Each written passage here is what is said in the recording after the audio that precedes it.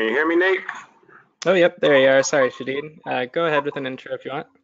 Okay, welcome to the Baltimore SharePoint Users Group. Since 2007, we have existed in Greater Baltimore with the express purpose to solve problems, challenges for the uh, SharePoint and Office 365 and related platforms.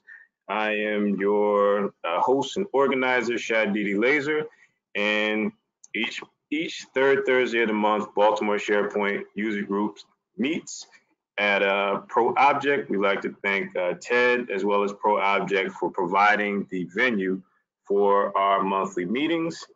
This month, without further ado, we want to uh, get directly to the topic at hand. We have uh, SharePoint wizardry for uh, content management, and there are very few people in the world who I would uh, uh, would love to express this topic. And so we have Nate Chamberlain all the way from the Midwest delivering uh, his unique flavor of uh, SharePoint.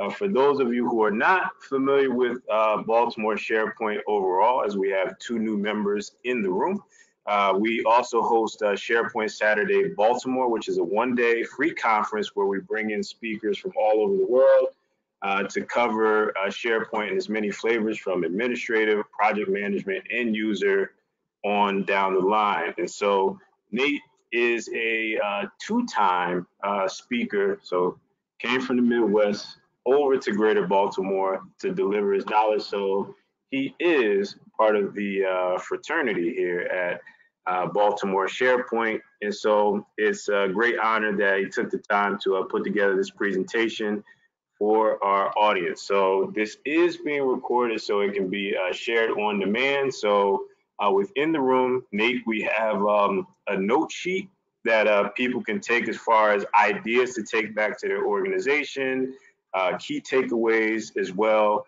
and uh, content management strategies. So as you're going down the presentation, there's a, a sheet that they can uh, fill out that's for the individuals in the room. So I'm going to turn it over to you. If there are questions during the presentation, I will use the chat and uh, facilitate the questions to you as they come up. Take it away. That sounds great. Thanks, Shadeed. All right, let me get settled here. Um, if anybody can't see the uh, slide with Baltimore SharePoint user group and my face on it, just let me know. Might be a setting that's tweaked. Uh, but I'll go ahead and get started and I'll watch for that just in case it comes up. All right, so quick intro on me. Uh, like Shadeed said, um, I've been a part of uh, SharePoint Saturday Baltimore a couple times now. Um, I always enjoy coming out there and it's just interesting to see all the different industries that we can see across the country. And it seems when I'm out there, there's a lot of government presence, um, of course, and here in the Midwest, maybe not so much. so here I work at a hospital, LMH Health, uh, formerly Lawrence Memorial Hospital, where I'm a SharePoint systems engineer. Um, I'm also a new uh, Microsoft MVP as of February, and I'm a certified um, or Microsoft certified O365 um, expert here. Um, of course, everything changes so frequently, it's hard to consider that a month later. Anyway, uh, I have a blog, SharePointLibrarian.com. It's where I share uh, thoughts on career growth, or thoughts on uh, SharePoint, Office 365, um, I imagine in a few years it won't be called SharePoint Librarian anymore. Uh, you can find me on LinkedIn, you can find me on Twitter, um, you can always email me if you'd like. Also, I run the Lawrence SharePoint user group. We're a hybrid group that um, always meets and broadcasts live online uh, as well as records. So if you're not in the Midwest near Kansas, we can always get you involved in another way. All right, a little background on me. Um, people call me SharePoint Nate at work. They got me this bright green chartreuse hat, so I try to take that around with me so I don't get lost. Um, I've written two books, The ABCs of SharePoint and Rise of the Advocates. Uh, Rise of the Advocates is a new one. It's a free. So if you want to go out to, um, I think it's sharepointeurope.com, they have a resource center where you can get that. It's about just about 32 pages, uh, but just some ideas to get you thinking about um, how you could build some kind of advocate program in your workplace if you don't have one or improve the ones that you do have. Uh, I'm a graduate, graduate of Emporia State University with my master's in library science. Um, I used to work at the University of Kansas, so I have an education background, and currently I'm in healthcare, like I said, at LMH Health. Okay, so uh, how I got into this um, content strategy and content management, um, it kind of inspired me to do this presentation because there's just so much out there that um, I feel is happening to every industry where we have this content that just piles up year after year, and there's a fear, just an underlying um, fear that stuff, if we delete it, it's going to cause trouble for us. But um, in reality, the longer we latch onto some things, we're causing trouble for ourselves uh, when it gets into e-discovery and we have just thousands of files that we could have at some point gotten rid of, but we kept, and now they're just part of this bigger risk, really. Um, but we don't always see it that way. Sometimes it's just, I want to make sure I can find it. I want to make sure I have access to it. Uh, so that's kind of how I started. I was at KU Libraries and we had a completely HTML intranet. Um, we wanted to move to Office 365. So in that top screenshot, you can see where it was very text heavy, very link heavy. Um, and then we moved to Office 365, um, and that was my start into SharePoint. So with that, a complete change of uh, platform and everything, we had an opportunity to go through all this content and a lot of questions about content management and content strategy came up. Um, it was a massive project. We're talking about, you know, over a decade of data uh, and what to do with that and how to organize that in a way that was safe and also adhered to the state's retention policies and such.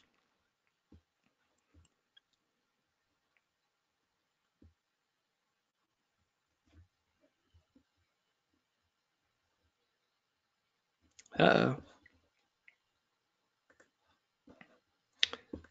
There we go. Okay, uh, then I moved to LMH Health. We were uh, SharePoint 2013. We migrated to SharePoint 2016. We're about to migrate again to SharePoint 2019 Hybrid O365. Um, so it's just constant change. I love that. It's uh, to me, it's continual improvement. So we're seeing uh, this content management story evolve over time. And something we're going to get to in a little bit is how Office 365 differs so much now from our on-prem instances that it gives us so much more power, it seems, to do some of these uh, data loss prevention things and um, talking about archiving and retention in a new way where previously we had to do a lot of different uh, manual work to get some of this to work. Now it's so much of it is automated or suggested to us where just in a few clicks, we've created a pretty robust uh, retention policy um, or a data loss prevention policy. All right, so before we get started, if there are any questions, like Shadeed said, he'll watch the chat there. Um, I'll be glancing at it every now and then as well, uh, but we'll go ahead and get started with content management. Uh, content management to me um, isn't necessarily a, a, verb, but it's more of an umbrella. So to me, content management includes content strategy, archiving, and retention. So we're gonna talk about um, each of those three. They're my pillars, you might say, of content management. Um, when we're thinking about these, also think about your role that you play in your organization. So if you're the Microsoft 365 Admin Center, you're bigger than SharePoint. And some of the stuff we're going to talk about applies to Teams and it applies to Exchange, um, especially when we're thinking about labels and sensitivity. So uh, if you are the Microsoft 365 admin, you've got that Security and Compliance Center, which every time I check it, it's a little bit different. So we're going to look at it today. It's going to differ from the screenshots you see there. Um, but I think last time I checked, there was a security center and a compliance center, and the link for each took you to the same page. So we'll see what's in store for us today. Um, like I said, it applies to more than SharePoint. You get your service assurance reports. Uh, it's where you can get your search and investigation. Something that was new to me anyway, about two years ago maybe, was the secure score. Uh, just it's not something that's uh, completely scientific all the way down, but it gives you an idea. It's a starting place just like with any data, any kind of Power BI dashboard that you're working with, uh, the secure uh, score is going to tell you a story that allows you to make an informed decision, but of course it's not something that you should base your entire decision on. It's just one piece of a consideration. Uh, so data loss prevention and data governance then would be the last piece for the Microsoft 365 admin. Uh, and we're going to get into more detail with those, so I won't spend too much time there. If you're the SharePoint admin, you have just a few things we're going to talk about. Uh, creating archives or send to locations. Um, this is kind of a dated thing now. It still applies very much to on-prem people, so that might be something you're, you're interested in. Um, also, you get all the usage reports. So um, for me, that the biggest impact there is just knowing what people are searching for that they're not finding, um, or things that they're searching for and they're giving up on. Um, so really interesting stuff that can help with your content management in a different way where we're not necessarily moving content, but we're, we're uh, surfacing it and making it easier for people to find. um, by understanding what they're looking for, what the intended result is, and then using promoted results or uh, result blocks to bring that to the front. Uh, site collection admins then, uh, this is probably the more um, numerous population. We've got uh, term store management for synonyms. Uh, this is um, largely for me, it's been an on-premises ex experience. Then you've got your popularity and search reports, which are a light version of the usage reports from the SharePoint admin perspective. Uh, you get the site and site collection features. We're going to talk about two that are particular uh, particular to the um, let's see more of the on-prem experience. So we've got um, so if you're thinking about retention policies and such, what you might need to activate there. Uh, and then workflows for archive and retention. So you can always use Flow to move things around. Uh, you can use SharePoint Designer if you're on-prem. You can use it if you're in O365, but you just got to get it configured correctly and make sure that's okay with your admins. Um, so lots of options. You can see every role kind of looks at this differently or has different capabilities. So I hope I can cover um, the important parts for you depending on your role. All right, so the first piece of this puzzle, uh, content strategy, is your solemn swear to get and stay organized. Um, and I hope there was once upon a time I gave this presentation and I asked if there were Harry Potter fans in the audience, and there was just one or two, and I was shocked because it's always been such a, a big part of my life. So to see that, I was like, oh no, I'm either getting old or I'm too young or I'm somewhere stuck in the middle. I'm not sure. So I hope in that audience there in Baltimore today that we have some Harry Potter fans to get some of these uh, references and enjoy these gifts. Um, so anyway, content strategy, moving on here. So if you didn't know, uh, no matter what your role is that we just talked about, you're also a content strategist. Uh, so what that means is that um, we're talking about a lot of settings, we're talking about features, uh, we're talking about rules and data loss prevention policies, and a lot of this is kind of it kind of has a negative connotation to it. Like nobody wants to be audited, nobody wants to have e-discovery on their content, um, but it happens. But you're also a content strategist, which means outside of these settings, outside of all of these policies and legal terms, um, you're helping your organization uh, understand the content that they're producing, helping them store it in a place that uh, makes sense and is accessible to people. Uh, so let's talk a little bit about what that means um, and how you might think about content strategy the next time you have a chance to sit down with an end user. All right, so a required textbook, if there were to be any in this presentation, would be Content Strategy for the Web. Um, I learned about it when I went to an Internet Pros group and someone brought it up and it sounded like the most bland book you could read. And I'm a library science major, I love to read, but content strategy for the web, uh, that was a bit iffy. So uh, here we are, all of a sudden it's my required textbook, so I hope that tells you something. But it actually is an enjoyable read and it's not a long read, it's a short book. It's got um, to the point knowledge that you can use and implement right away. I mean, it really helped me understand, especially in that big project I talked about first, going from completely HTML to um, an O365 environment. It helped me understand uh, the kind of stuff we were working with and the importance of it or the lack of importance of it. Um, so content strategy, if you're not familiar, uh, is defined in this book by how an organization or a project will use its content to achieve its objectives and meet its users' needs. Okay, inside the book, this graphic you'll see a lot. Uh, it divides uh, content strategy into two halves. The blue half there is content, so what is the substance and how is it structured? And on the red half, you've got your workflow and your governance. So you've got your people components there, uh, which we usually work with the most. A lot of us in IT don't have to think about substance so much. We think a lot about structure. Uh, but then workflow and governance, we're kind of in the middle there, helping to facilitate uh, the journey of content from creation to uh, distribution or to retention or to deletion. Uh, so a little bit deeper here um, into content, you know, what substances, what is the content that you need and why? Structure is where are you going to put it? Um, how is it formatted? Do you have um, any kind of department structure? Are you more project based? Um, and then within each of those, do you have one document library to rule them all, or do you have multiple? Um, so th there's a lot of considerations here, and this book kind of walks you through each of these, and it helps you think about your specific industry and your organization and your structure and your content that you have already, and seeing if that's truly suiting your needs and speaking to your uh, users. So then people, workflow, uh, to me as an IT person, as a SharePoint person, workflow means SharePoint designer, it means uh, Microsoft Flow. Uh, but it's not always necessarily the way um, content strategy sees it. It also includes the motion of people and the work that you know starts today and ends at Z. It involves six people. what is the Visio diagram you're creating for the actual work uh, that creates this content? Who approves it? Who uh, edits it? Who's responsible for distributing it to the local newspaper? That kind of stuff. But we're not all marketing, so we'll keep going here.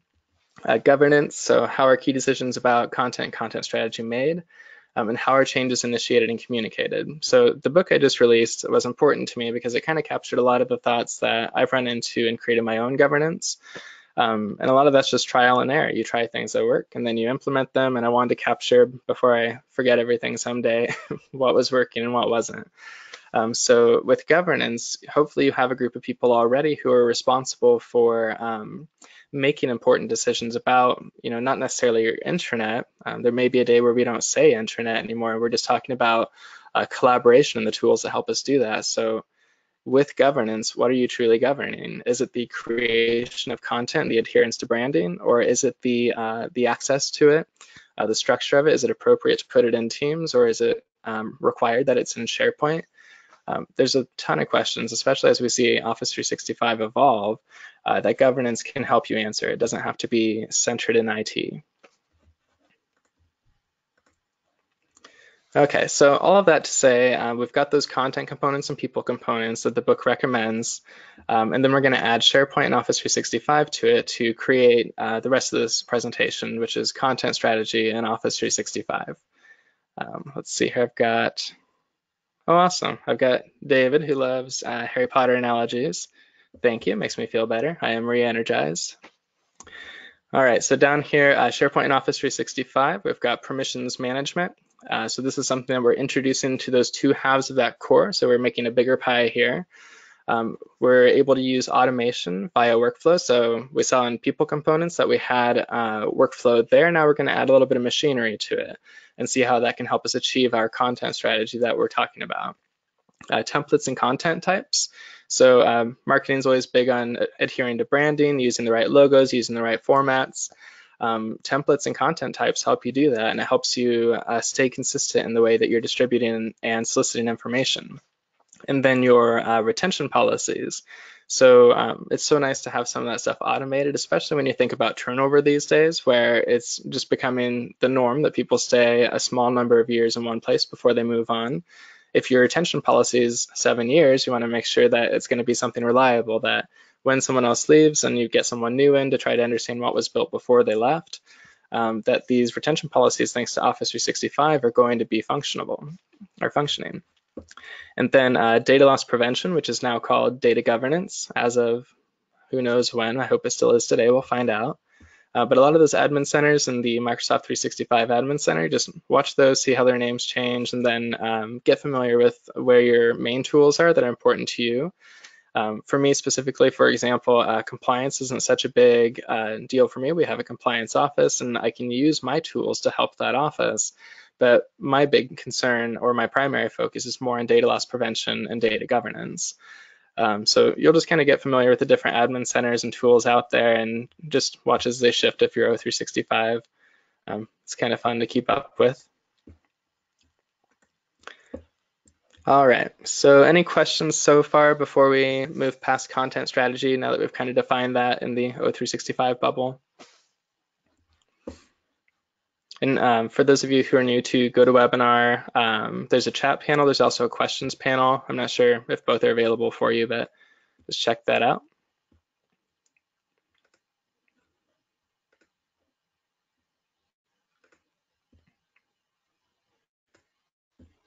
All right, let's venture forth and I'll keep watching that. So feel free to keep typing if you are. Uh, so archiving, um, some of these words we're going to talk about have multiple meanings to different people and archiving is one of those words. Um, it's kind of like, um, oh, what was it we were just talking about? Let me think. Oh, um, so I had Sharon Weaver, who's the CEO of Smarter Consulting, speak for the Lawrence SharePoint user group recently. And uh, we were talking about, or she brought up the point that live data is a phrase that means different things to different people. So this is kind of like that to me, where live data to one person may mean every 45 minutes, or may mean every second to another person. Um, but it really depends on your situation and how you, you know, once a day might even be live data for some people. So archiving is another thing. So when you think about archiving, some people are going to jump to a legal, uh, like a policy, something or other that says we have to archive this for seven years. Maybe they're actually talking about retention um, and they're stuck in a gray area. Um, some people think about archive from a library perspective. So we're going to archive this and have it in the historical archives, maybe frame it someday and bring it out in an exhibit. um, but um, before you even start talking about archiving with your group or your governance committee, um, it's good to just uh, come to terms to find some kind of common explanation for these. So before you say, how are we going to handle archiving? Just ask, how are we going to define archiving for our group? Um, and then this quote's great. The ones who love us never really leave us. You can always find them in here.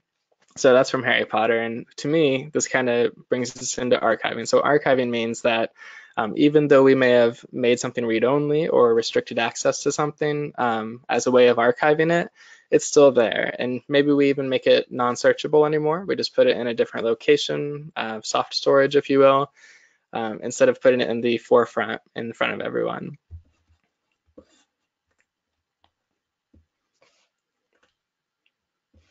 Okay, so archiving, uh, moving files meeting a certain criteria to a staging location where they'll either be kept indefinitely or deleted after a period of time. Um, so we're going to see here in a little bit how Office 365 has built-in tools to allow you to make these kind of decisions on an automated basis. Um, so one of those is labeling. So we can say if a document contains a certain um, like a data format, so social security number, US driver's license, a UK passport number, that kind of thing, um, then it's going to flag it and it's going to say we automatically, based on the content of this file, um, apply this label to this document, which means that we're going to keep it for seven years. And then you decide, you know, what happens after that. There's going to be an option that says delete it after that time, or maybe we just move it to an archive, keep it for another one year, and then maybe we delete it. So I'll leave all those hard decisions up to you and your teams. Uh, typically, items in an archive do not show up in main search results. Uh, this isn't always true necessarily, but um, general practice or the most common feature that I would see in archives is that we're, we have them created, um, but not because we want people in there every day. An archive is kind of a side, a side project or something that isn't going to hit your communication site. It's not going to be the main feature of anything. Um, so archiving, a good example would be if you um, think back to folder structure days back when we had, like, it, like it's gone, when we had um, folders that say do not delete or versions in the document name that said, you know, document version one, document version two. Um, those aren't so long ago, actually. Um, so thinking about those though, um, if you still have users who are doing that, who are putting the same file in their SharePoint environment under a different version number, so version 678, and someone searches for that document, they're going to get 678, but maybe the most recent version is 10, and based on your ranking model, maybe it shows up last in the search results. Um, so by not archiving and by making everything in the archive still searchable and equally ranked to everything in your main content or the relevant content, um, you're just muddying it up for your users. Uh, so understanding, um, you know, part of this is education, making sure your users understand that they can uh, set it so that their items do automatic versioning. And thankfully, you know, going forward, OneDrive and SharePoint, um, O365 anyway, have it set to default where everything will be version history enabled. Um, so that'll help a little bit with that. And then the last piece of that is just educating people that, you know, this is enabled and that means that you don't have to upload the same document with a different name uh, 10 times and that you can easily go back and view or compare or restore a previous version. And that keeps your search results clear. The one that's going to show up is the last major published version. Um, so uh, items in an archive are often declared records, so we'll talk about what that means here in a little bit uh, work with others to determine an archive workflow. So chances are in IT, you don't know everything about compliance um, or um, retention, risk, that kind of stuff. So bring in the people who do know about that, so who could help you uh, set these policies, because you can always set something up and say, we're going to archive it for seven years based on your knowledge and understanding of the issue, but it could be that there's something you're not considering or that some underlying piece or some history that you don't quite have the whole picture of yet. So whenever we're talking about policies uh, where I work now, LMH Health, uh, we try to bring in the people who really understand the consequences of some of the things we're setting because we're we're working with um, you know official documents and um, records you know that are historical and relevant to some people still. And at some point we may be audited or we may need to pull up those items from, you know, within the last seven years. So we just want to be careful when we're talking about automation and some of these tools.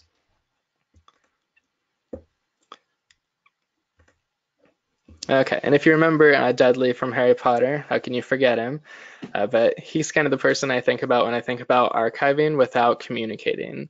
So if we're going to be moving stuff on people, moving cheese is a common expression, then we need to be telling people what's happening too. So um, go ahead and set your archive policies and your workflows up, but also let your users know what happens to their files based on the policy type or based on the document library location. Um, however you have it set up, just make sure people are aware because someday uh, Dudley's going to go and he's going to be looking for his 37 presents. All right, so we can automate um, archiving a little bit using retention policies. So this is where that gray area comes in. Some people say uh, retention policy, some people are talking about archiving. Maybe they're talking about the same thing. So we're going to uh, talk about automating, automating archiving using retention policies. Uh, to me, this is the best, uh, most reliable way to do it. Uh, but you could also set up some kind of archiving with Flow, where you say, when a document meets a certain criteria, we're going to um, essentially move it or like create a copy of the most recent published version, put it in this other location. Maybe it's on demand, maybe it's on a regular basis, or like I said, when it meets certain criteria. Um, so an example here, if the status equals complete, create a file in archive, delete the original. Uh, you could always do manual as well. I wouldn't recommend this because uh, that's going to be interpreted differently by different people. Um, it does give you full control. So if you do have people who are uh, weary of automation, um, hopefully you can um, alleviate some of their concerns, but you can't always. And uh, there may be cases where it does make sense to go through a small document library on a manual basis and archive when you're ready. Um, or stuff that just doesn't have a sensitive data type or something where you don't have to worry about manual archiving. So it's not ideal for large organizations. And uh, the big key here is that when you do manual policies, um, you're allowing people to interpret that differently. And it's not always even just different interpretation, but it's different uh, work ethics. So you may get people who, you know, every month they set time to make sure they're adhering to that policy and going through their files. And then you're going to have people who don't even think about it um, and they don't do anything with the files. Okay, so um, in so this is an on-prem screenshot we're looking at. We need two libraries to set up an archive. You'd have your source and you'd have your archive. This would work with Microsoft Flow too, where we're saying in this one library, which is our main um, consumption library, uh, when it meets a certain criteria or when I use the on-demand flow trigger, we're going to move it to the archive library where maybe search is disabled um, and maybe it's only read-only. Uh, so uh, if you want to use the on-prem version of automation for this, you would need to activate the site feature called Content Organizer. Uh, and that's a site feature, so you can be uh, just a site collection admin is fine to be able to turn that on. Um, and as with any feature, uh, just a disclaimer that you probably want to research it completely before you go clicking anything, or at least try it in your developer tenant first. Um, you don't want to go and destroy a bunch of stuff on accident.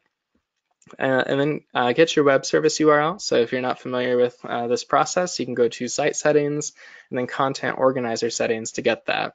So first you have to activate that feature, then you'll see this. Um, once you activate that, that's what gives you this setting, and you just need to copy that.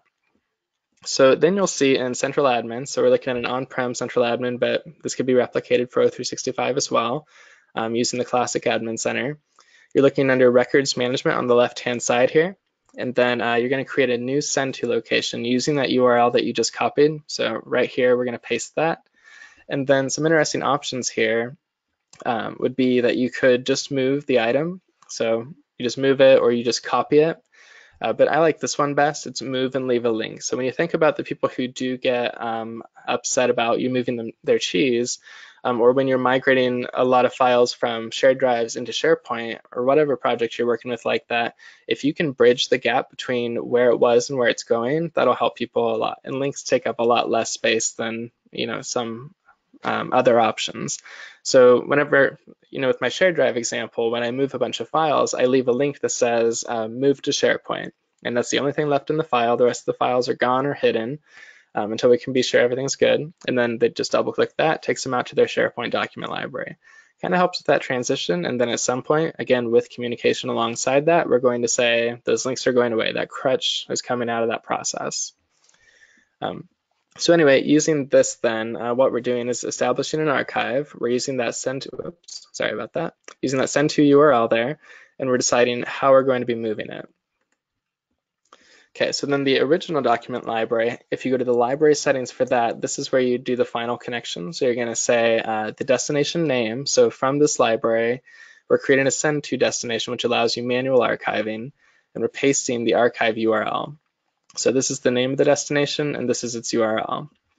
So um, archive advanced settings uh, is where you can disable search that we talked about. So just library settings and then um, advanced settings. And then that just makes sure that when people are searching for things, they're not getting the 54th version of something when they really need the 100th. Okay. Any questions before we keep going here?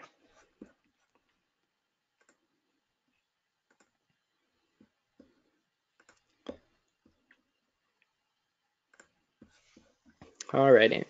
So uh, declaring records. So um, this is another feature, but this is going to be a site collection feature. So depending on your admin rights, um, you may or may not have that available to you. But declaring records basically just um, makes something read-only, basically, is the simplest way to look at it. So um, declaring records marks an item as a record and prevents further edits or deletion. Uh, it does require the site collection feature uh, called in-place records management.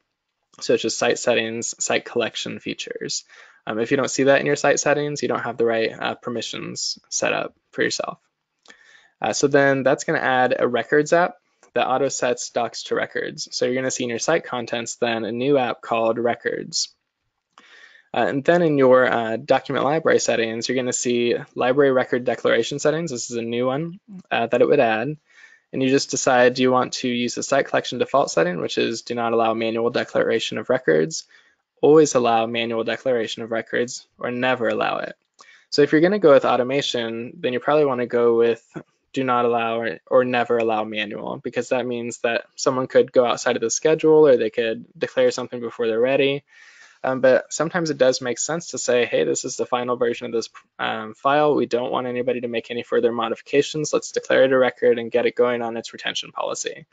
Um, and then you can have a trigger set up that says when an item is declared a record, ABC. So you have other processes that are tied to this declaration of a record. Um, you could also have a document library that is exclusively meant to have just declared records, which means that if you're going to be moving files into it, um, you can check this box and then anything that's added is automatically a record. So maybe this is your archive.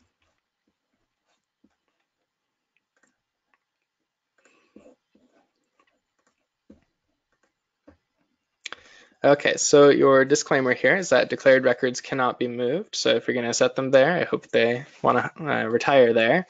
Uh, but they can be copied. So even though you can't move it, edit it, or delete it, or delete it, people could make a copy of it if they needed to.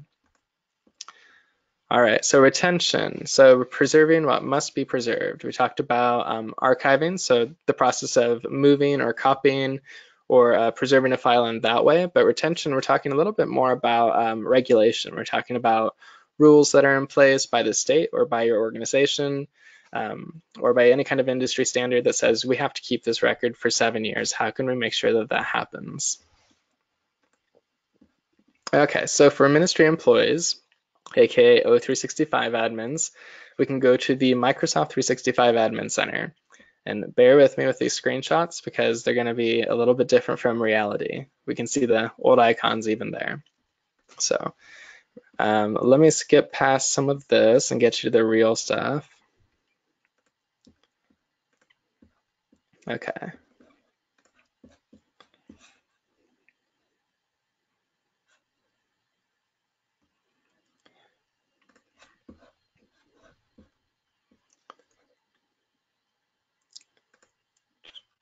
Okay, so I'm in the Compliance Center. So uh, this is a live um, example, so we don't have to worry about old screenshots or anything. Um, what we're looking at, or to get here actually, if you want to go into your Admin Center here, that does look similar to what you saw in the screenshot. And then this is just called Compliance, so look for that center. Um, and I did see that this is the classic view of compliance now, and they're making a modern view, or there already is a modern view, so good luck when you go and check out your tenant to see what's actually there, but just know that you're looking for the compliance center. Uh, so here we are. Uh, data governance is the tab that we're looking for. So just to give you an idea, when you first click on compliance, it might look something like this.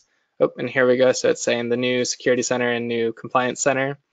Um, so that's the modern, it looks completely different, but get to compliance first. And then on the left, we're looking for that data governance. And then underneath there, so we can see some familiar words here. We've got archiving and retention. We're going to go to retention. And then I just want to show you some of the stuff's already set up. So let's just say we're new to this tenant, new to this company, and we want to see what's already in place so that we can start our discussion there before we create additional policies. Maybe we just need to modify or revise what's already there. Uh, so I work in a hospital. I'm interested in medical records retention policy. I'm going to select that one. And I'll just get a preview first. This is a very SharePointy experience. Um, so I'm looking here, I can see that the status is on. It's just a toggle on off, super easy. Uh, name of the policy, um, it's applied to content if it contains personal identifying information uh, or medical terms. And then it applies to Exchange, OneDrive, SharePoint sites, and O365 groups. Uh, the retention policy itself says to detect the content that contains sensitive info and keep it for seven years. Um, the tricky thing about talking about some of these policies is that I can't demo seven years unless you guys are free for the next seven years and just want to hang out for a bit. Um, so we just kind of have to trust that this is going to work. Um, and you can always try it in your own tenants at a much shorter time interval, but I don't think any of us have seven years currently. So we'll just keep going here. I'm going to click on edit though. Let's dive a little bit deeper and see what's in this policy. So locations apply. I'm going to skip to that tab. And what I really like, um, especially with the introduction of teams, and that's not showing up here, but in some of these retention policies that we set up, we'll see teams included here. We'll see that we could limit it just to Exchange if you're the Exchange administrator. Um, and of course, for my focus, it's typically SharePoint. But knowing that we can apply the same policy across all of these apps without having to recreate it means that we can uh, consolidate the team that's talking about it too. Uh, we don't have to worry about bringing in, you know, three different separate meetings about these different apps and the different policies, we're just going to apply something blanket. So uh, we could do specific sites. Uh, same with teams. When you're doing a teams policy, you can choose specific teams. Um, and then OneDrive, we can choose specific accounts or exclude accounts. So pretty powerful there. And then the policy settings themselves. So we're looking for social security numbers and then DEA numbers medical terms. So they've got a library, kind of like a, a, term store or a data dictionary kind of thing set up where they're looking at these certain sets of terms. And then down here is where we do the retention actions. We're saying for seven years, do you want to delete it after this time? And that's what I was mentioning. Um, this is a conversation you'd be having with your team to say, does this match with our you know, legal requirement? Um, because this one was already built, you know, it could be that they did their research ahead of time, but it's never a bad idea to double check because things change over time. Um, and then this one, don't retain the content, just delete it if it's older than seven years. So lots of options there for customizing. And I'm not gonna change my, or save my changes. Did I click the wrong thing? There we go. Okay, let's create a new one though, so you can see what it's like from scratch. Okay, so our new policy is called test policy. Whoops. Then we're going to do next. Okay, so our set settings. So this is in a little bit different order from what we were just looking. How long do you want to retain it? Do you want to retain it forever? Um, I personally don't know of a lot of situations that would require that, but you could. And then retain it based on when it was created or when it was last modified. So for me, in most of the business cases that I'm working with people on, it's going to be from when it was last modified. Um, creation doesn't necessarily matter in a lot of the documents that I work with. Uh, it's just when was the last you know, edit made or how long has it been stale.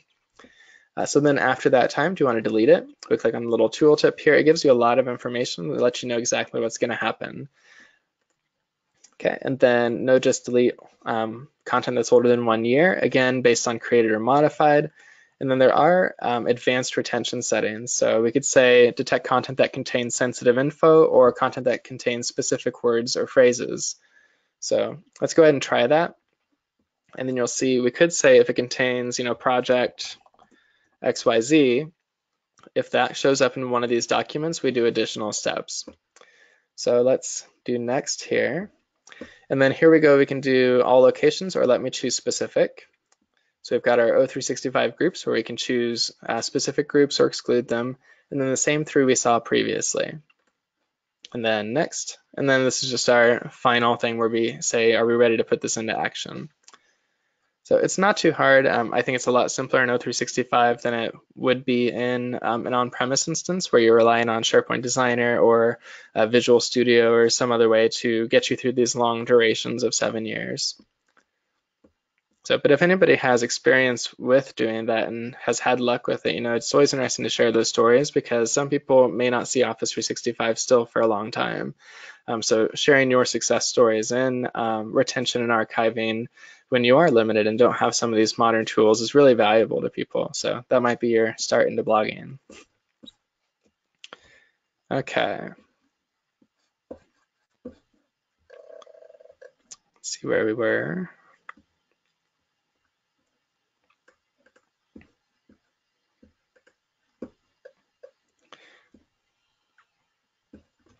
Okay, so there's, um, let's see, if we go to our labels. Okay, so we're still in the same compliance center. I'm going under classifications and to labels.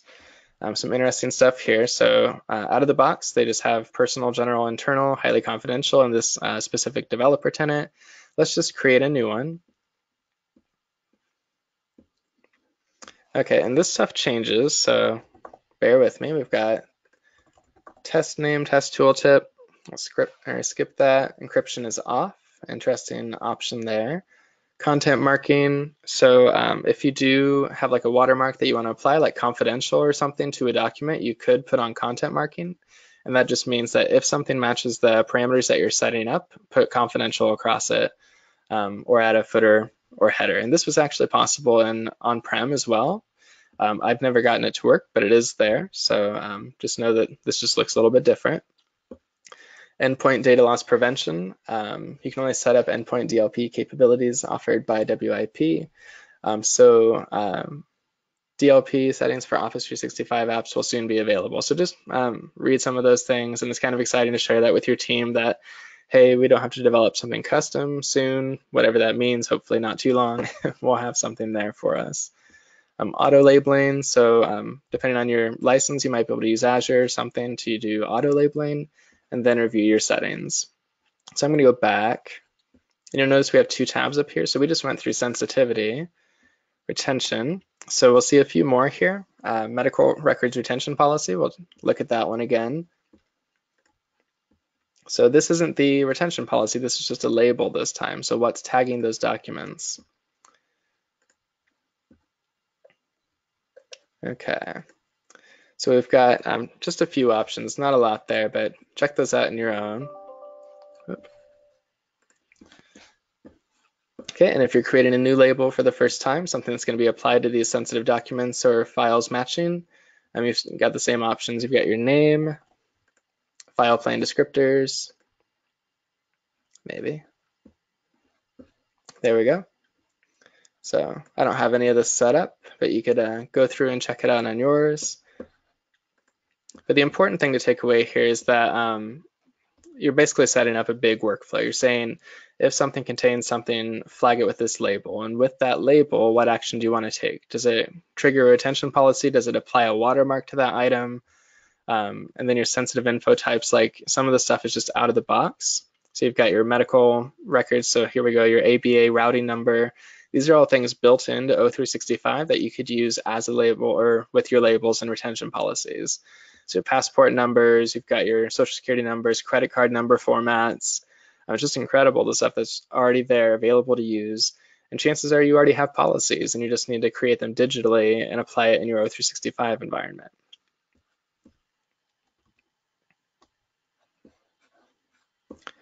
Okay. So we just did retention policies there, but if you're not an O365 admin, and some of us aren't, in fact, at LMH I mentioned we're still on 2016, so we have to think about this a little bit differently. Uh, we do plan on going hybrid, so this you know will change for us soon, but in the meantime, how can you do something still? Uh, so let's create a retention policy um, on-prem. You could also do this in O365, so if you are there, just know that this is available to you as well. So I'm going to back out here. Okay, so here's just a document library, um, and we're just going to go through some of the settings and see how you could apply retention and archiving.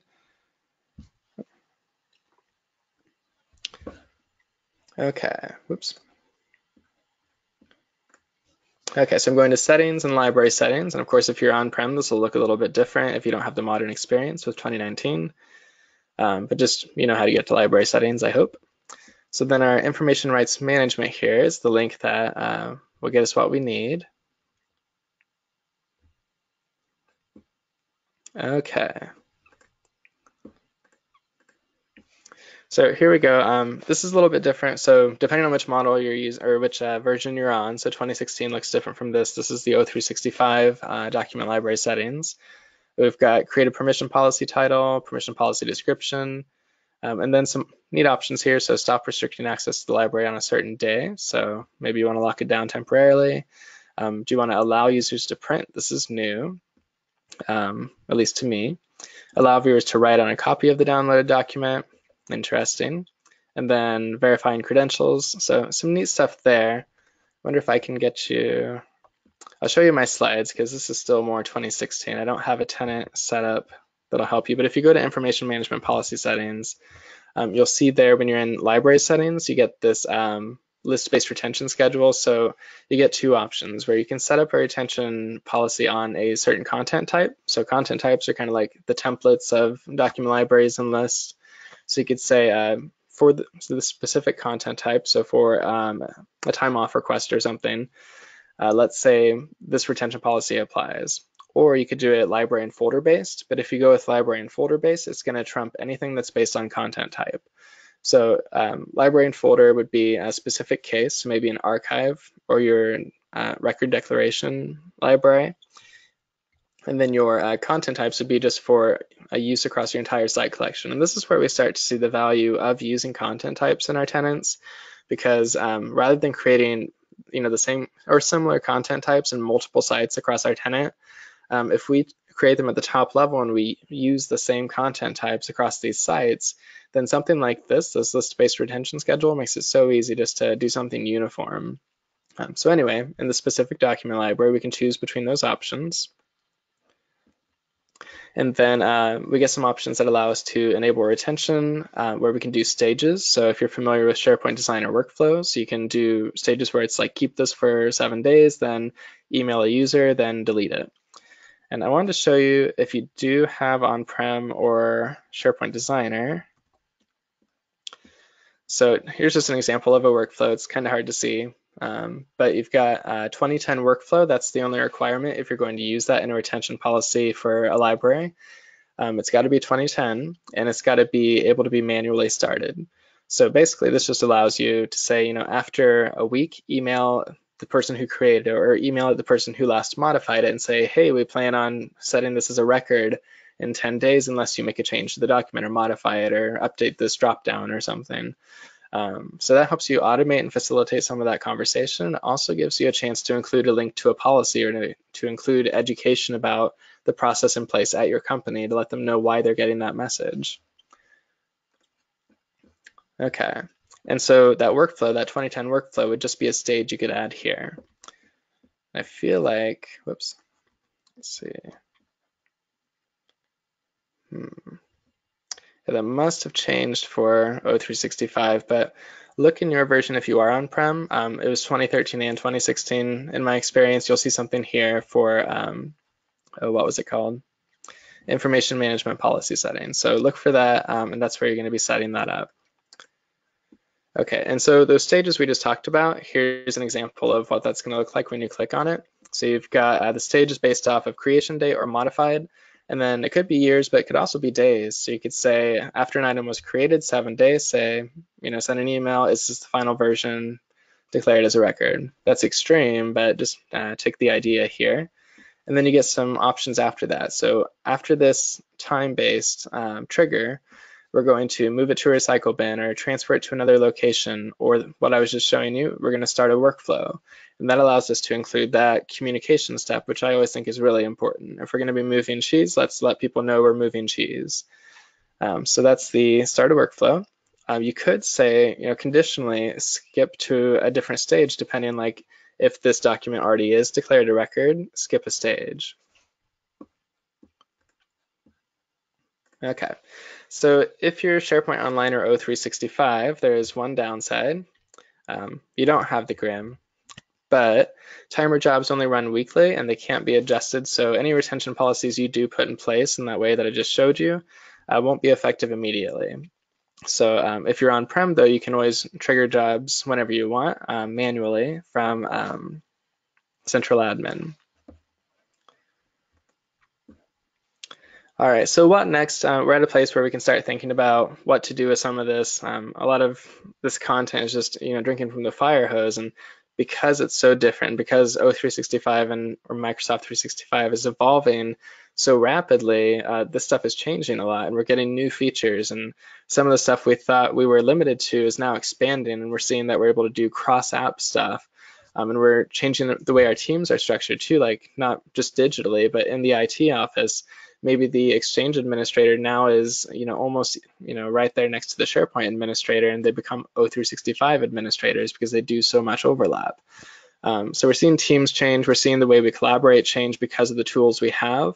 Um, and that's just starting conversations. So if anything out of this presentation, what I hope you're taking away is ideas about conversations that should be happening at your organization today uh, related to you know best practices and secure content, um, retention policies that are in place, and how you're enforcing those with the tools you have. Um, so it's not goodbye. Um, any presentation you attend is always just um, a chance to get started on something new. All right, so I'd recommend if you don't have a governance group or an advisory council or something, make that your next step. Go ahead and get some group together that's not just IT, um, so like I said, include compliance, include risk management, whoever you have that can help you with some of the more tricky situations and get them together on a monthly basis. Or if it's a project-based timeline, get them together every other week and work on something together. Um, because when you get those outside voices, they learn what's available as a tool to them that maybe they didn't think was available, and maybe you can get rid of a vendor solution. Um, but then you also get the insight from their arenas, you know, what's important to them and what's an absolute requirement for their department to be able to implement. Um, so then you can think about setting up an archive if you um, would benefit from an archive. If not, maybe you just declare records within the library the item exists. So you know both of those are possible now. Would it be beneficial to provide an option to make something read-only by declaring it a record or by um, changing item level permissions, which I wouldn't recommend. but you can do whatever works to achieve your goal and whatever's manageable by the size of team you have. I know some of us are kind of a one person team and some of this seems astronomical. Uh, so it becomes even more important to make sure we're having conversations with more than just our own groups and getting help when we can get it. Uh, so then uh, document your process and workflows. So thinking about that communication that I keep mentioning, um, end users want to know what's going on with their stuff. Uh, so take the time to document any decisions you make. Make a Visio diagram, make a PowerPoint presentation, send it out in an update. It doesn't really matter as long as you're providing an opportunity for people to see the changes you're making, because these are typically big changes. We're talking about how we're doing content strategy, which changes the look and feel, the organization, the access to, the permissions and capabilities of end users. These are big things. Uh, so just make sure that's documented and accessible to your users, and then decide what should be done with your existing content. So that first big migration I did from a completely HTML intranet into Office 365, working with that existing content was overwhelming. It's just there's so much out there. So where do you start? Um, of course, people talk about eating an elephant. It's just one bite at a time. Uh, but this might be a little bit different for you. Maybe you can do some blanket policies where you say if something is 15 years old, which I'm sure is out there somewhere, um, you can just go ahead and send it straight to archive. Maybe it doesn't even reach your O365 tenant. So start those discussions about old content, then get into the, the more modern stuff. So say, what do we do with the content that people are consuming today? Do we only allow one version? Do we, you know, even talk about versioning? Do we turn that on? Um, it should be turned on by default in a lot of modern environments, but for some of the older on-premises environments and tenants, um, those are going to need to be manually set up. So is it blanket across your organization or are you setting it up one by one? Because that's going to affect your user experience and consistency. Um, and the last thing you want is someone to expect that version is turned on and rely on that feature and then find out later when they need it that it's not turned on. Um, so then uh, learn the latest in content management and retention from, now this is getting old because we're about to get up to another Ignite, so watch for more stuff on this. Uh, but you can always go to YouTube, search for content management retention. Um, I think I have a link on the next slide. Yeah, so just screenshot this or take a picture or watch the recording later to get these links or again, just Google it. it's a search world. Uh, so look for uh, Ignite content management and Ignite retention and watch these videos about, um, you know, unveilings of features and see where some of this started or conversations that sparked some of the changes we're seeing today. Um, some additional resources I like to mention in some of my presentations include ShareGate. So when we're talking about moving a ton of files or moving, you know, even just a little bit, to save you time, uh, ShareGate saves me time all the time where I can just say move this entire library to this other location, um, which really just makes a copy of it. And then you can delete the original um, or move an entire site. So maybe you're going to archive an entire site, move it to a different site collection. Um, with the uh, introduction of hub sites, we're seeing you know a lot of ease come of this now where we can just change something's association so we don't have to worry about moving the entire site so some of these options again depending on if you're o365 are a little bit different um, and then all of my tutorials that I write are on sharepointlibrarian.com. So if you run into issues, maybe I've run into it before, um, I try to always put my solutions out there. Um, so my posts are kind of random. It's like, ooh, I got this error, and I want to write it up for you and show you how I got around it. Um, Download SharePoint Designer if you are on-prem. It's a great way to set up those 2010 workflows. It's the only way to set those up if you plan on using those retention stages for those document libraries. And then uh, check out, so uh, Teams has a great admin center, so check that out in Central Admin, um, and then read about security and compliance for them. Um, just learn about your options there because we're seeing it introduced slowly into some of the things we were talking about today. Um, so check out the roadmap, see what's going to be, you know, more intertwined in the future and learn what you can do because Teams is still um, very new to a lot of organizations and there might be more risk there than we realize sometimes just because there's not quite an understanding of how it fits into the whole grand scheme. All right, so that's all I have. Um, I'll look to Shadeed here for any questions that are coming up. Again, you can uh, contact me through any of these methods, LinkedIn, Twitter, or email. Um, and watch for the Lawrence SharePoint user group. We do a monthly webinar. Um, Shadeed's spoken for us uh, once or twice, and we have some other great speakers, um, a lot of MVPs, and we like to introduce new speakers. So if anybody there is interested in uh, getting some experience or you're passionate about a topic, uh, reach out and let me know. We'd love to have you for a special lunch hour presentation or for one of our monthly events. Um, whatever you think people would want to hear about. And even earlier, I mentioned if you have a, um, an on-premises environment where you've worked through something really challenging, chances are someone else could benefit from that info too. So if you just want to share a case study or a, something that you worked through, um, that's always more than welcome too. All right, so I don't see questions. I'm going to turn Shadeed on for voice here.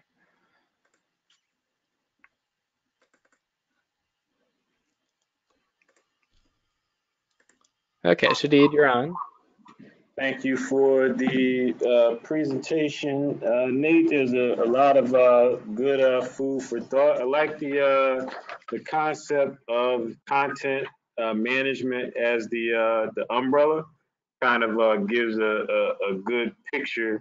And of course, everything under, under the umbrella can range from document management to people strategy, and the list goes on and on. The uh, the book that you provided, uh, content uh, strategy for the web, is a great resource as well that uh, I'm definitely going to look into and uh, and read. So for those of you who are uh, tuning in online, thank you for joining us and participating in this session. Lots of great resources. The session has been recorded for on-demand goodness. And on behalf of uh, the group that's here within the room, as well as those online, thank you, Nate, for your session and uh, delivering value to Baltimore SharePoint community. All right, thanks so much, and thanks for having me. Welcome.